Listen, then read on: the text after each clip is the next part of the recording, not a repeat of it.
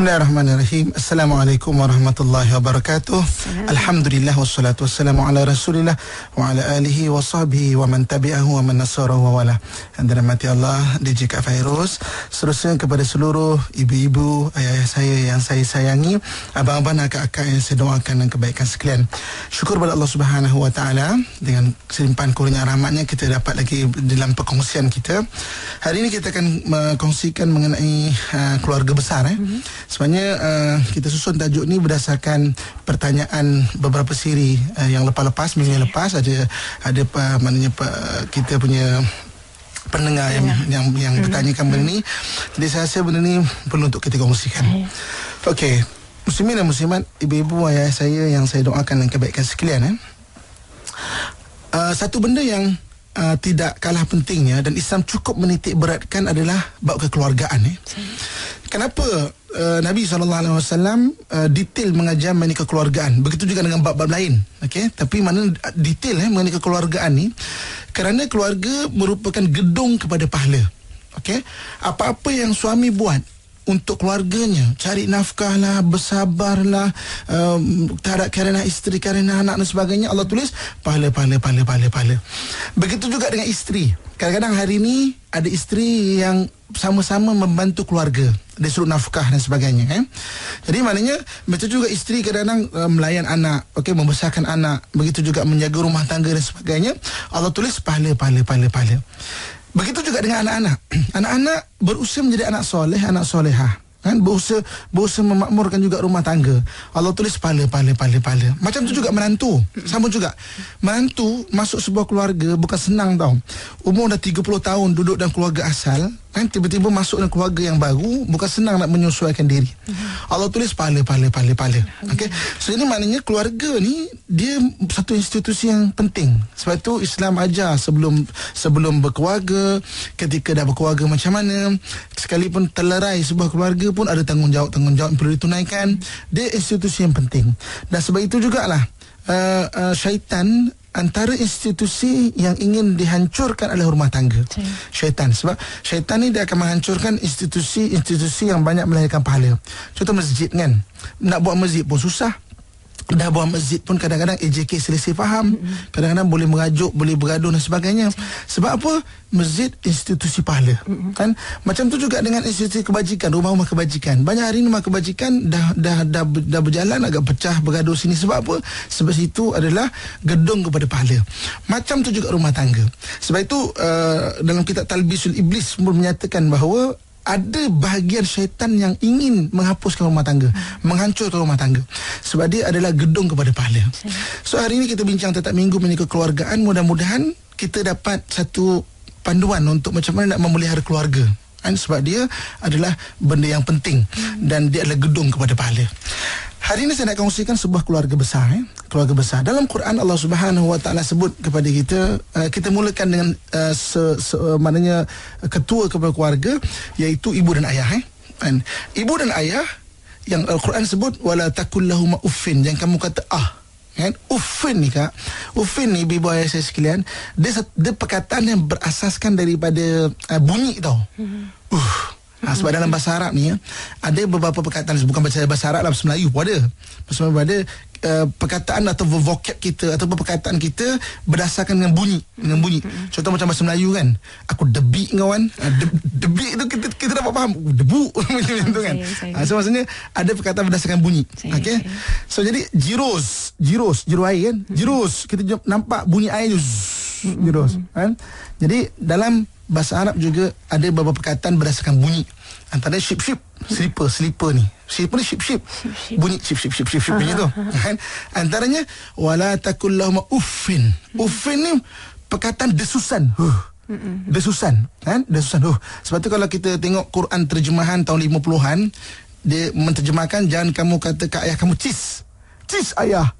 Sekarang orang tak guna dalam kata cheese kan. kan? Tapi ufin ni maksudnya atadajaru. Atadajaru ni aku benci, aku tak suka. Apa-apa desusan yang membawa benci atau tak suka jangan kita sebutkan. Kan? Sama ada ah, eh, oh, cak, cok, eh, ele. Jangan sebutkan pada mak ayah. Jangan ufin tu, huh, yang membentuk benda-benda atadajaru. Hmm. Aku tak suka, aku benci. Jangan ucapkan kepada ibu dan ayah ini. Dan hari ini kita nak detailkan ibu dan ayah ini kan uh, adalah lima jenis ibu dan ayah. Kan kita nak detailkan hari ini daripada sudut uh, sebuah keluarga besar kan. Hmm. Siapakah ibu dan ayah ini? Pertama ibu ayah kandung. Takrifan ibu ayah kandung ibu ayah yang melahirkan kita. Okey, melahirkan kita ibu ayah kandung. Yang keduanya ibu ayah tiri. Ibu ayah tiri ni iaitu mak ataupun ayah kita yang kahwin dengan orang yang lain bukan daripada darah tu. Yang ketiganya susuan. Ibu ayah susuan. Orang yang menyusukan kita. Kan ketika kecil, kecil eh bukan ketika besar. Kan? Ini ketika kecil dan ada bilangan kenyang dia, kan? Uh, lima kali atau tiga kali bagi lelaki atau perempuan, kan? Kemudian ibu ayah mertua yang keempatnya. Ibu ayah mertua adalah ibu ayah yang kita tak boleh nak adakan desusan. Ah eh tu kan? Dan yang keempat yang kelimanya hmm. iaitu ibu ayah angkat. Ibu ayah angkat ni ibu ayah yang jaga kita. Yang jaga kita daripada daripada kita kecil. Okey? Jadi kalau kita lihat sejarah daripada Nabi sallallahu alaihi wasallam ya. Nabi sallallahu alaihi wasallam punya ibu ayah kandung. Ayahnya meninggal ketika dalam perut lagi Allah takdirkan kan dengan rahmat Allah Subhanahu wa taala dengan hikmah Allah Subhanahu wa taala Nabi sallallahu alaihi wasallam lahir tu tak sempat nak sebut nama ayah. Ayah yang sebenar ni tak sempat jumpa pun. Sekarang ni kadang-kadang uh, uh, walaupun ramai juga orang tak jumpa ataupun tak ingat kan ayah tu meninggal kita kecil lagi. Mm-hmm.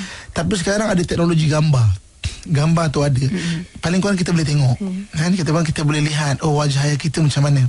Ni zaman dulu tak ada. Mana kalau meninggal tu tak boleh nak tak boleh hanya boleh membayangkan macam mana. Oh ayah kau mungkin ada janggut gini mungkin ada misai macam ni mungkin tinggi orangnya mungkin rendah orangnya. Hanya bayangan saja. Tapi gambar sebenar kita tak dapat nak tengok. Hmm. Jadi Nabi SAW ayahnya telah uh, meninggal pada pada pada pada uh, ke dalam kandungan lagi. Dia ada ibu, ibunya membesarkan dia. Kan? Lahir-lahir saja budaya orang Arab ni dia nak menjadikan keluarga itu sebuah keluarga besar, mm-hmm. dia biasanya akan bagi susuan. Okey. Dan begitu juga tak ketinggalan dalam sejarah Nabi sallallahu alaihi wasallam, Nabi dibagi susuan kepada satu orang bernama Halimatus Sa'diyah. Hmm. Halimatus Sa'diyah diberikan dan dan itu budaya orang Arab Mekah waktu itu. Diberikan anak tu untuk membesar dalam satu environment, satu satu satu suasana yang bagus. Benar tidak tidak di kota Mekah tu sendiri cabarannya besar macam kita lah. Mungkin di bandar-bandar kan cabaran lebih besar daripada yang di pinggir bandar sikit kan. Uh, maknanya dari sudut uh, pendedahan dan akhlak dan sebagainya. Dan ibu susuan. Okey. So, Nabi ada ibu susuan, Halimatus Sa'diyah. Kan? Kemudian Nabi membesar. Nabi membesar, ibunya meninggal pada umur 4 tahun. Maka dia dibeli oleh pak ciknya, Syaqiquhu Abu Talib. Maknanya pak cik ayah adik beradik kepada Abdullah ini namanya Abu Talib hmm. yang penyayang. Nabi SAW ada ibu ayah angkat. Hmm. Ibu ayah angkat. Okey. Kemudian Nabi SAW membesar, membesar, membesar dan Nabi kahwin kan nabi kahwin. Maknanya nabi ada ibu ayah mertua. Hmm. ibu ayah mertua. Jadi kalau kita melihat eh yang tiri dalam sejarah nabi tak ada sebab kan uh, ayah anda nabi hanya meninggal waktu muda dan isinya hanyalah ibu ibu anda nabi. Tapi empat-empat ni ada. Hmm. kita lihat contoh yang diberikan oleh nabi sallallahu alaihi wasallam. Kan? Bagaimana Uh, maknanya menghormati orang-orang yang uh, ditakdirkan sebagai ibu dan ayah ini. Kita lihat contohnya seperti ibu ayah angkat Nabi, hmm. Abu Talib. Abu Talib. Nabi SAW selalu doakan Abu Talib. Selalu wajah Abu Talib. Sebab dia ibu ayah angkat. Dia hormat. Dia tak ada kau bukan ibu ayah aku yang sebenar. Tak, tak hormat. Tidak. Nabi tunjukkan macam mana sayangnya Nabi SAW kepada Abu Talib. Nabi tunjukkan macam mana Nabi hormatnya Abu Talib. Dan Nabi seru berdakwah pak cik marilah Islam pak cik marilah Islam pak cik marilah Islam pak cik. Kan? Jadi maknanya Nabi seru dia. Kan? Sampai sedih Nabi sedihnya tu dalam ketika Abu Talib tu meninggal. Kan? Datang satu orang sahabat kata wahai Rasulullah wahai Rasulullah aku pernah mendengar Abu Talib tu mengucapkan syahadah. Apa kata Nabi sallallahu alaihi wasallam? Aku tidak mendengarnya. Maknanya antara dengan Tuhan kita tak tahu mm-hmm. kan? Sebab kita tak boleh menjadi saksi depan Tuhan kan? Sebenarnya kita tak tahu? Itu antara antara antara dia dengan Allah. Mm. tapi Nabi kata aku tidak aku tidak mendengarnya. Mana Nabi tidak boleh menyaksikan. Ada ada satu ada walaupun ada sahabat kata mm. aku mendengar Abu Talib pernah bersyahadah. Tapi Nabi kata aku tidak menyaksikan aku tidak mendengarnya kan? Ha, kita hari ini kadang-kadang tengok kan? Orang tu baik sangat baik sangat. Kita kata sayangnya dia tak Islam. Mm. kan? Tapi baik sangat kan? Dia meninggal tu tu dia dengan Tuhan Cuma kita tak boleh nak saksikan dia itu Islam ataupun tak.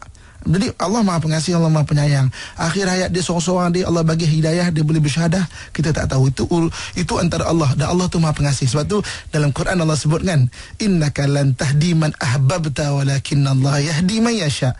Kamu tidak mampu memberi hidayah orang yang kamu cintai tapi Allah lah yang beri hidayah orang yang orang yang uh, dia kehendaki. Hmm. Itu dengan Tuhan. Cuma kita tak boleh nak saksikan.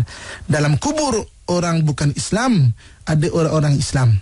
Dalam kubur orang Islam ada orang-orang yang matinya tertanggal iman. Auzubillah misalnya okey so jadi balik. Balik kepada Abu Talib. Kita tu boleh lihat bagaimana Nabi SAW ayah angkatnya itu dicontohkan. Dicontohkan baik sangat baik sangat Nabi SAW tunjukkan seru uh, dakwah pada ayah angkatnya kan? Begitu juga dengan dengan uh, ibu susuan Nabi SAW pernah ada pertemuan dipanggil dalam sejarah sejarah Islam dalam bahasa moden pertemuan nostalgia iaitu Nabi bertemu dengan Halimatul Sa'diyah. Temu dia dengan Halimatul Sa'diyah. Dihormati dia, dirai ibu ibu susuannya ini. Ha, tengok kan? Dan begitu juga dengan Nabi SAW ada ada ayah-ayah mertua. Ayah mertua Nabi antaranya Sayyidina Abu Bakar radhiyallahu anhu arda. Sebab Sayyidina Abu Bakar ni uh, maknanya anaknya Aisyah ha, anaknya Aisyah tu berkahwin dengan Nabi SAW. Macam mana Nabi raikan, Nabi hormat ibu mertua dia, ibu ayah mertua dia. Sampai satu ketika di Madinah Di Madinah ada, ada wadi-wadi. Wadi ni macam lembah kan. Mm-hmm. Ada setengah lembah tu ada air. Satu hari Nabi pergi Ada di lembah Nabi mandi. Ini sejarah yang macam mana Nabi sebut Ajarkan anak kamu berenang kan. So Nabi uh, Dan sejarah ni pernah Di, di wadi itu dia berenang. Mm-hmm. Maka Nabi SAW berenang ke arah Abu Bakar. Mereka sayang berenang Nabi berenang ke Abu Bakar Dan Nabi, Nabi mengucapkan Wahai Abu Bakar Aku sayang sangat dengan kau. Maknanya mak bapak mentua dia tu dia kata ayah kalau nak sekarang baca sekarang kan mm-hmm. walaupun Abu Bakar sahabat dia mm-hmm. tapi kedudukan bukan saja sahabat sekarang tapi adalah ayah mentua mm-hmm. ayah saya sayang sangat kat ayah macam mana kita ucap pada mak kita ayah kandung kita Nabi contohkan maknanya mengucapkan juga kepada ibu ayah mentua mm-hmm. jadi maksudnya Nabi tunjukkan kepada kita bagaimana ibu dan ayah yang lima-lima ini perlu dihormati Hari ini ibu ayah, ayah, bapa, kakak sekilan masalah kita, kita membezakan. Cerita-cerita kadang-kadang di TV, drama-drama, mengajarkan saya tak langsung perbezaan. Menantu versus mertua. Hmm. Kan? Ibu mertua ku. Contoh kan? Adalah pengajaran-pengajaran dia. Hmm. Tapi seolah-olah diajar secara tak langsung bahawa, eh, ini ibu awak. Ini ibu saya. Kadang-kadang ada yang ada yang antara mak mertua beraya, awak balik rumah awak, saya balik rumah mak saya sebab kita anggap benda tu asing. Mm-hmm. Kita anggap benda tu terpisah. Sedangkan dia adalah ibu dan ayah kita yang Allah Subhanahu taala bagi kepada kita yang perlu dihormati, yang perlu kita mencari keredaan dia, yang perlu kita mencari doa dia. Bezanya apa? Bezanya antara lima lima lima ibu dan ayah ini empat empat yang uh, empat yang bawah tu tidak mewarisi harta pusaka tu je beza dia. Ibu ayah kandung saja mewarisi harta pusaka si mati. Yang lain-lain tidak me- me- mewarisi harta pusaka. Itu je beza dia. Yang lain semua sama. Hormatlah. Ha, kita perlu kasihilah. Kita perlu doakanlah. Kita perlu mencari redha dia lah. Sama. Semua benda itu. Jadi ibu ayah tentang muslim-muslim ini yang perlu. Uh, kita hari ini nak, nak, nak, nak dapat menantu. Kan?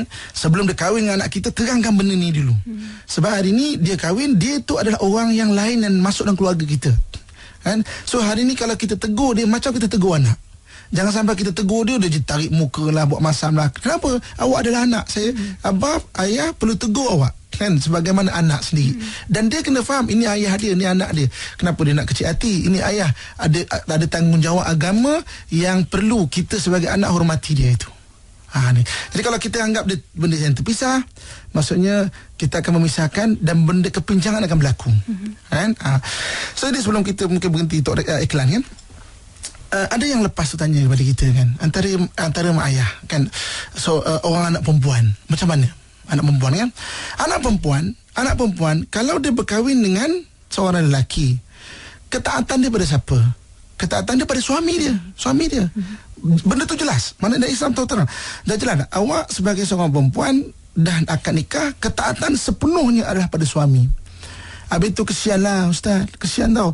Habis kalau satu orang yang punya eh, Semua anak perempuan. Semua anak perempuan kan? So Betul. Semua anak perempuannya Dia punya pengajian adalah Anak perempuannya semua Kena taat kepada Kepada suami dia. Hmm. Habis kita sebagai mak ayah Macam hilang anak kita. Hmm. So, siapakah yang perlu membela kita sebab kita semua anak perempuan? Okey, anak perempuan perlu taat kepada suami. Seorang lelaki perlu memberikan ketaatan dan kasih sayang kepada mak ayah dia. Betul. Mak ayah dia siapa? Mak ayah dia ada lima mak ayah mak ayah tadi. Jadi maksudnya tengok cantiknya Islam kan? Cantiknya Islam. Hari ini seorang perempuan kahwin dengan seorang lelaki, ketaatan kepada suami dia. Halas, benda tu jelas. Okey. Habis seorang lelaki siapa nak bela? Dia perlu bela dan taat kepada mak ayah dia. Mak ayah dia apa? Lima jenis mak ayah tadi. Mak ayah kandungnya, mak ayah tirinya, mak ayah susuannya, mak ayah mertuanya dan mak ayah angkat dia. Maksudnya perkahwinan bukan semata-mata oh seronok lah kan. Dia adalah tanggungjawab. Seorang suami kena faham benda ni. Orang lelaki kena faham benda ni. Bahawa dia kahwin ambil tanggungjawab. Dia bukan berkahwin tu suka-suka. Ha, I cinta you, you cinta I. Hmm, hmm, okey lah, kita kahwin. Akad nikah aku terima nikahnya Aku terima segala tanggungjawab Yang Allah perintahkan kepada aku. Dan ada jawapan yang perlu Aku jawab depan Allah Subhanahu Wa Taala. Bagi yang belum berkahwin Yang takut nak kahwin pula. Takut aku kahwin ni. Dia tak lama ni. Tak lama ni Takut aku. Bukan. Kita kena faham benda tu. Tanggungjawab. Jadi cantiknya Islam kan? Perempuan tak pada suami. Suami Rai semua jenis-jenis mak ayah ni. Mm-hmm. Jadi tak ada mak ayah yang tertinggal. Kalau anda kata ini anak kita semua perempuan, kita tak perlu sedih. Sebab apa?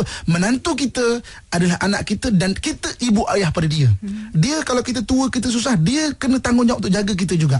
Seperti mana ayah ayah ayah, ayah, ayah dan mak-mak dia yang lain, yang lima-lima jenis itu. Mm-hmm. Ha, jadi kita jelas... Uh, Mana senang tak adalah berlaku macam menantu buat tak tahu mak mertua lah mak betul mak ayah dan sebagainya tak semua lahir bergerak berjalan dengan rasa tanggungjawab yang perlu ditu. Terima kasih kepada DJ Kak Fairuz Terusnya kepada seluruh ibu-ibu, ayah-ayah saya yang saya sayangi Abang-abang, kakak serta adik-adik Yang saya doakan yang kebaikan sekalian Okey, kita bincang memahami keluarga besar pada hari ini Dan kita dapat lihat macam mana uh, Keluarga besar itu uh, Kita fokus pada mak ayah dulu Bahawa mak ayah ni ada lima jenis mak ayah Okey, kita benar pula uh, Di sebalik mak ayah ini Maksudnya kalau kita ada mak ayah yang lima jenis mak ayah Kita juga ada lima kategori anak. Mm-hmm. Okey, anak macam mana? Anak kandung. Okey, anak tiri, anak susuan. Okey, anak menantu mm-hmm. dan juga anak angkat yang kita jaga dia kecil. So, sama juga lima jenis mak ayah, kita sebagai mak ayah pula kita mungkin ada kelima-lima jenis anak ini. Okey, anak kandung, anak kandung. Anak kandung anak-anak yang lahir daripada hasil pernikahan kita daripada darah kita. Itu anak anak anak kandung kita kita tahu lah. Kemudian anak tiri. Anak tiri iaitu anak yang datang daripada isteri kita. Kita mungkin kahwin dengan satu orang janda contohnya kan. Dia ada anak yang lain. Okay, so kita, kita bawa dalam, dalam perkahwinan dengan dia itu anak tiri kita. Begitu juga dengan anak susuan kalau anda kata isteri kita tu uh, menyusukan uh, anak orang lain yang ada lima atau tiga kali kenyang bagi lelaki dan juga perempuan maka dia adalah anak susuan kita. Mm-hmm. dia adalah anak kita. Tak batal lagi semayang kita kan? Uh, menyentuh kalau dia tu uh, perempuan ataupun lelaki. Begitu juga anak menantu. Anak menantu ni yang kahwin dengan anak kita lah kan? dan juga anak angkat. Mm-hmm. okey kita lihat sejarah apa nama dalam dalam kehidupan Nabi sallallahu alaihi wasallam. Nabi ada anak kita pun tahu bahawa anak Nabi sallallahu alaihi wasallam uh, Sayyidatina Fatimah kan uh, yang yang uh, uh, Zainab kan dan dan uh, anak lelaki semua meninggal kan. Uh, jadi maknanya Nabi ada anak kandung. Bagaimana Nabi mendidik anak-anak dia? Okey. Nabi sallallahu alaihi wasallam ada ada anak menantu. Anak menantu Nabi dua. Hmm. Sayyidina Osman radhiyallahu anhu dan juga Sayyidina Ali karamallahu wajah. Dua. Nabi ada uh, khalifah empat tu. Dua adalah bapa mertua Nabi, hmm. dua adalah menantu Nabi. Okey, Sayyidina Abu Bakar dan Sayyidina Umar adalah bapa mertua Nabi. Hmm. Sayyidina Uthman dan Sayyidina Ali adalah menantu Nabi. Okey. Dan juga Nabi ada anak angkat, eh, Zaid al Zaid bin Harithah. Ha, nah, jadi maknanya ini antara ni. Dan kelima-lima anak ini kita lihat macam mana Nabi mendidik macam anak sendiri. Hmm apa apa masuk anak sendiri? Maksudnya perlu di perlu dididik dengan sebetulnya didoakan. Macam mana Zaid bin Harithah anak angkat Nabi sallallahu alaihi wasallam menemankan Nabi sallallahu alaihi wasallam ketika Nabi berdakwah di Taif. Ketika Nabi sallallahu alaihi wasallam dibaling Zaid bin Harithah ni antara orang yang menahan Nabi daripada kena baling kan berdarah-darah juga badannya seperti mana badan Nabi sallallahu alaihi wasallam. Dan bagaimana Harithah menjadi bersama-sama Nabi untuk memperjuangkan agama Allah Subhanahu wa taala ini. Menantu-menantu Nabi tu Nabi treat menantu dia macam mana? Kan? Nabi treat menantu macam mana? Kalau salah dalam rumah tangga Nabi tegur. Tapi tidak mempengaruhi keputusan dalam rumah tangga ini. Contoh kan? Macam contoh uh, Satu ketika Sayyidina Ali pernah uh, Nak kahwin lagi Nak kahwin. Nabi SAW panggil Sayyidina Ali Nabi tegur dia. Nabi tegur Kan? Tapi Sebagai mak ayah kan Tengok macam mana? Panggil tegur Macam anak sendiri tidak menjejalkan hubungan pun. Mm-hmm. kan? Tetapi tidak mempengaruhi keputusan dalam rumah tangga. Taklah Ali kau jangan jaga kau. Jangan jangan. Tak macam tu. Ha, Nabi nasihat Nabi guide Nabi bimbing dia sebagai orang yang lebih tua. Anak-anak kadang-kadang dia dia, dia alah budak-budak. Mm-hmm. sekarang kadang-kadang bu, bu, watak budak-budak ni tak semestinya dia orang yang dah berumur tinggi tau kadang-kadang Kadang-kadang orang umur yang tak tinggi pun watak budak-budak tu ada setengah-setengah benda dia kurang matang sikit. Mm-hmm. Ada. ada tau. So jadi kita sebagai mak ayah yang mungkin dah jauh matang mm-hmm. tegur anak ni, menantu ni tegur. Tetapi jangan buat keputusan rumah tangga. Jangan kita mempengaruhi keputusan. Contoh macam, oh, kau, kau kasar dengan anak dengan sebelah pihak kan. Kita pun tu ambil anak kita, bawa balik. Tinggal menantu terkebil-kebil kat rumah seorang-seorang. Nak nak datang rumah kita takut. kan kan terlekat kat dinding rumah. Bapak mentua garang kan. Jangan jangan jangan jangan kacau keputusan rumah tangga. Mm-hmm. Kita guide, kita kita kita nasihat dia. Kan dicontohkan Nabi sallallahu alaihi wasallam. So, sama juga macam mak ayah tadi, mentaliti cara kita melihat anak juga kita perlu. Kita perlu tengok macam mana kita melihat anak tu. Macam anak kita sendiri. Mm-hmm. Kalau perlu tegur-tegur, ini yang kata orang Melayu kan. Macam marahkan anak, sindir menantu. Mm-hmm. Maknanya orang Melayu dulu dulu ada kematangan macam mana cara anak tu lah anak. Menantu lah anak. Dan cuma cara menegur mungkin tak seperti direct seperti anak kita. Tapi marahkan anak, sindir menantu kan ha, menantu so apa uh, dua orang tu bangunnya lambat cuma subuhnya lambat kan? So kita tegur. Balik malam-malam tu kedua pagi tu wayang boleh ke subuh lambat Bebel macam mak mertua. Macam biasa dah Macam biasa dah oh, Balik dalam wayang subuh lambat. Apa ni semalam lambat ni subuh ni? Jagalah untuk kebetulan keluarga. Hmm. Kita marah anak kita Sindir menantu. Kebir, kebir menantu buat air. Sama-sama lelaki dia kena marah. Jadi maksudnya Kita guide dia Sebagai anak kita juga hmm. kan? Dan jangan Jangan kita Anggap asing. Kalau anggap asing itu Yang kadang-kadang Kita sebagai mak ayah Kita rasa menantu tu Sebagai orang yang ambil anak kita. Ada orang yang sampai macam tu. Dia rasa hmm. macam dia ni ambil anak aku dia ni asing. Kan uh, memanglah. Dia budak universiti tak mahir masak. Okey tak mahir tak tak mahir masak.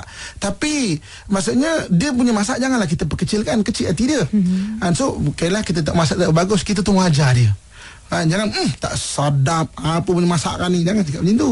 Ha, dia anak yang tak ada mungkin kemahiran itu kemahiran ini. Kita bimbing dia. Hmm.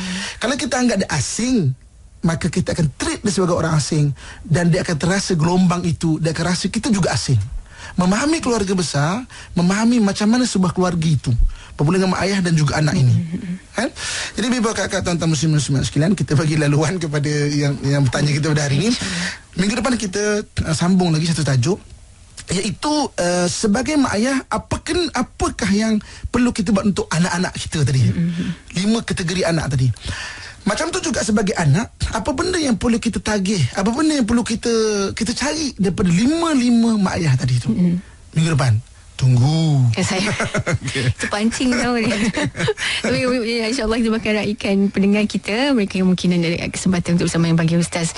Polisi Italian 0362051500. Kita bersama dengan Puan Intan dulu Ustaz ya. Silakan. Uh, saya ada tiga soalan lah. Uh, okay, yang pertama uh, pasal ibu susuan tadi kan.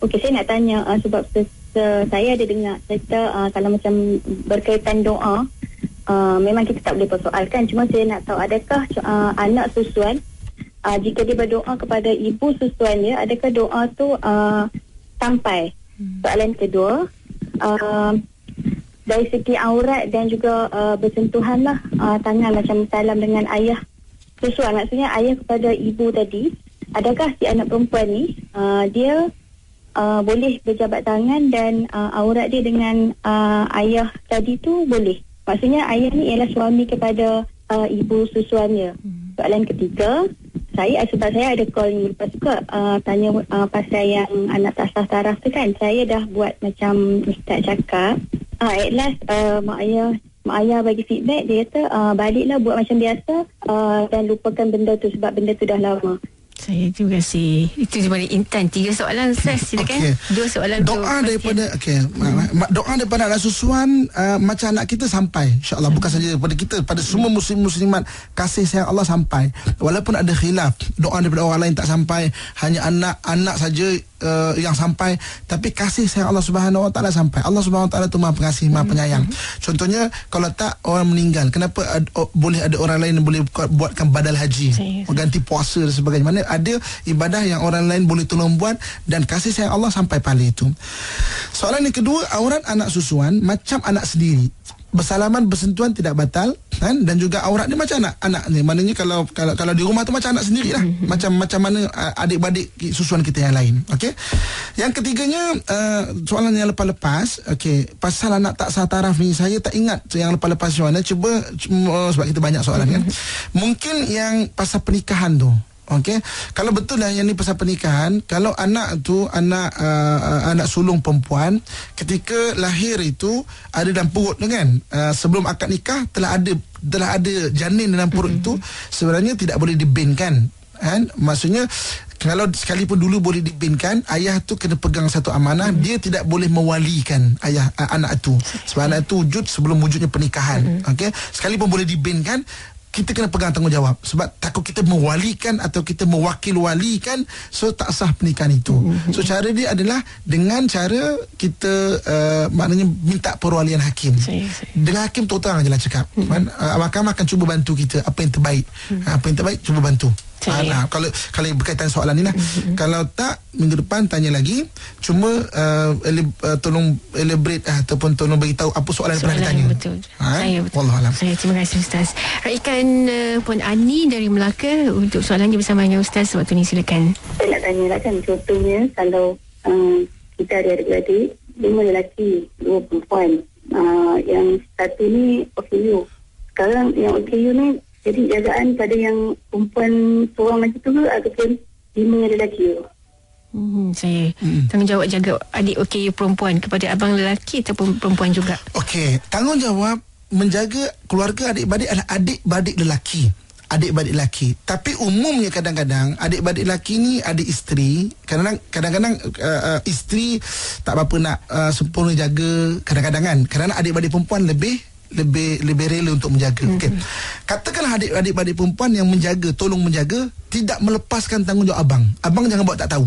Abang kalau tak mampu Kena lafaz pada adik-adik perempuan Saya tak mampu minta halal mm-hmm. Jangan buat tak tahu ah, Mentang-mentang adik-adik perempuan yang lain jaga Kita buat tak tahu Jangan, tak boleh kan? Ah, takut apa? Takut ada hak Kita perlu tunaikan Kita tak tunaikan Hak kita tu kita ambil pula Hak dia tu kata gini uh, patutnya kita kena sebulan kita kena bagilah duit contohnya kan untuk jaga adik. Kita tak bagi padahal kita mampu. Duit itu haram tu sebenarnya sebab duit tu milik adik tu. Saya saya kan? Wa fi anfusikum apa, apa nama dalam harta kamu lisaili wal mahrum. Ada hak orang yang meminta ada hak orang yang tidak meminta. Mm-hmm. hak macam tadi tu lah. kita ambil kita guna haram hukum dia mm-hmm. sebab sebenarnya itu nafkah yang wajib kita jaga bagi satu orang adik amanah kekeluargaan itu so adik-adik perempuan dah jaga kalau kita tak mampu lafazkan abang tak mampu minta halal semua mm-hmm. nanti insyaallah kalau mampu abang akan akan tolong abang akan tolong tunaikan Hmm, juga yang lah. kelima-lima lelaki tersebut ada tanggungjawab ada tanggungjawab. Ada saya. tanggungjawab. Saya, kan? saya. ha, maknanya uh, sebagai orang lelaki orang lelaki ni berat. Orang lelaki ni uh, apa nama uh, Kak Ya. so, semua ibu-ibu ayah abang-abang kakak eh, saya sayangi saya doakan ada empat jenis perempuan. Mhm. di akhirat akan ditanya pada orang lelaki. Okey pertama sekali isterinya. Yang keduanya anak perempuannya sehingga berkahwin. Okey yang ketiganya adik perempuannya sehingga berkahwin.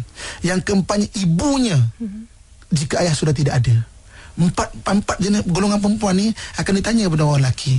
Contoh orang lelaki punya tanggungjawab bukan bukan kecil. Tapi Allah bagi kemampuan bagi orang lelaki akan tunaikan benda itu. Sebab tu Allah sebut rijal qawamun 'ala nisa. Lelaki mampu me, me, me, apa nama menjaga wanita. Nisa di sini bukan isteri saja. Perempuan-perempuan yang di bawah tanggungan kita. Wallahu Saya, a'lam. terima kasih Ustaz atas penjelasan Moga juga dapat kita jadi panduan juga Untuk sahabat-sahabat yang mendengar waktu ni Dan daripada Cik Ahmad Shah Alam silakan soalannya Uh, saya ada orang cakap ada sikit kemustilan lah. Mana sekarang ni saya dah berkahwin hampir 3 tahun. Lepas tu hubungan saya dengan mertua ni kurang baik lah. Mertua ni dia bab agama dia kurang sikit. Jadi kadang-kadang saya rasa saya macam tak mampu untuk untuk memahamkan dia. yang untuk agamanya adalah lebih penting lah. Kadang dia lebih melihat kepada kebendaan apa semua. Kadang-kadang saya rasa macam saya tak mampu untuk teruskan dengan isteri ni. Cuma isteri saya ni Alhamdulillah lah dia jenis yang uh, belajar agama. Tapi cuma mak ayah dia ni kurang sikit. Uh, jadi memang hubungan saya dengan dia kurang lah. Jadi saya berharap Ustaz boleh bantulah kat sini. Hmm, silakan. Ustaz. Kadang-kadang kita berhadapan dengan dilema tau. Hmm. Kita nak anggap mak mertua tu macam mak kita, pak mertua macam pak kita. Tapi dia tak anggap macam tu. Sebab apa? Tak ada tak ada uh, maknanya uh, prinsip ilmu tu tak ada hmm. ataupun kurang bagi dia. Dan adakah kita nak salahkan dia? Kan dengan keadaan mungkin waktu tu dia membesar tidak ada peluang untuk untuk untuk belajar agama. Aikim pun mungkin tak wujud lagi waktu tahun 60-an, tahun 70-an tu kan maksudnya. Dia nak dengar, nak dengar pun tak ada. So maksudnya kita kena tahu oh itu kekurangan yang dia dia dia dia ada dan kita maafkan dia dan mudah Allah bagi kebaikan kepada dia. Apa kata Allah Subhanahu wa taala? Ittabi' sayyi'atul hasanah tamhahuha.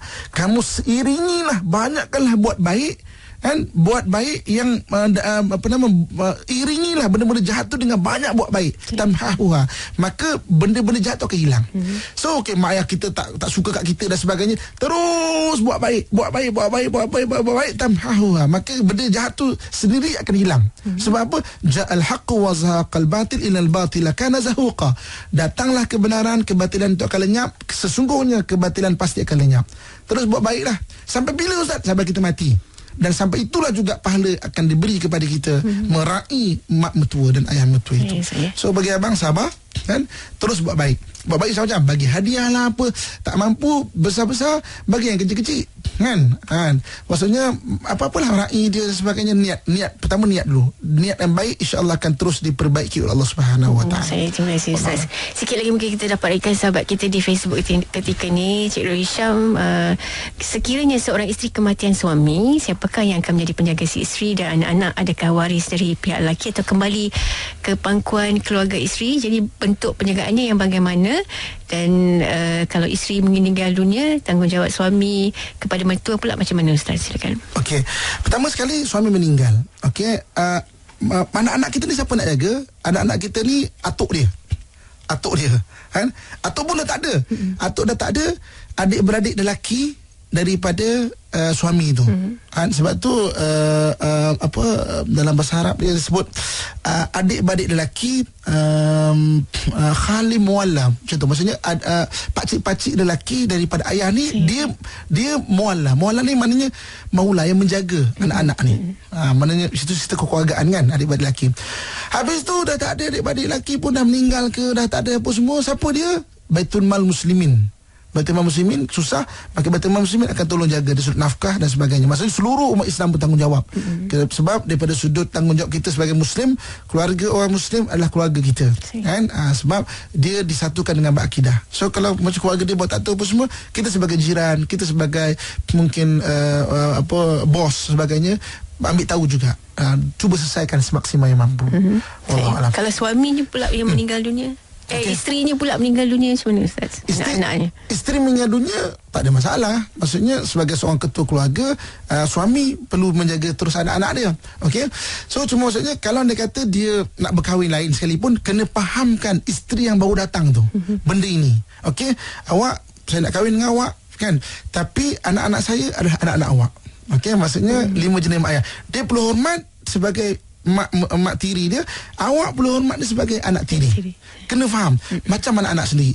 Kadang-kadang ada yang uh, isteri baru yang datang, kadang-kadang kahwin tu dengan suami saja. Anak-anak terpinggir. Ha, jadi anak-anak kesian akhirnya kan. So Islam suruh kita sebagai suami fahamkan fahamkan isteri tu. Semaksimal mungkin lah. Ha, sebelum kahwin pilih maknanya fahamkan betul-betul. Boleh tak? Kita pun boleh lah dulu. Nanti pelan-pelan didiklah diri. Oh, ada tips tambahan tu Ustaz situ. Tambahan.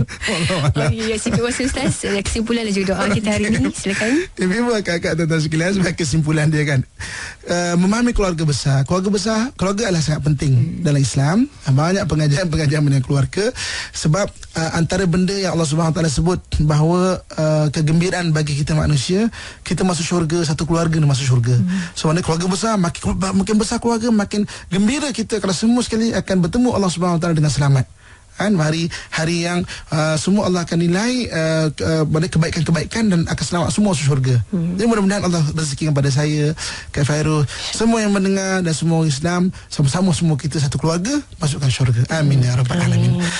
Auzubillahi minasyaitonirrajim. Bismillahirrahmanirrahim. Alhamdulillahirabbil alamin wassalatu wassalamu ala asyrafil anbiya'i wal mursalin wa ala alihi washabihi ajmain. Ya Allah ya Tuhan kami kurniakan kepada kami keluarga yang bahagia ya Allah dan kurniakan kebahagiaan dalam keluarga kami ya Allah. Kurniakan kepada kami isteri yang soleha ya Allah, anak-anak yang soleh dan soleha ya Allah, suami yang soleh ya Allah, keluarga yang bahagia ya Allah, yang mendapat keredaanmu hingga ke akhirat ya Allah.